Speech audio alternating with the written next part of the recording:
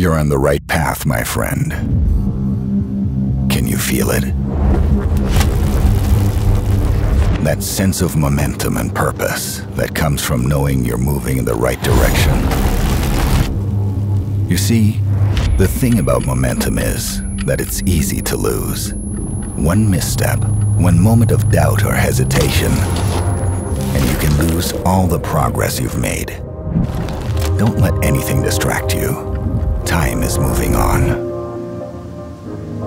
But in those moments where you're in the right place at the right time, everything clicks into place. Time waits for no one, and neither should you. So keep going, my friend.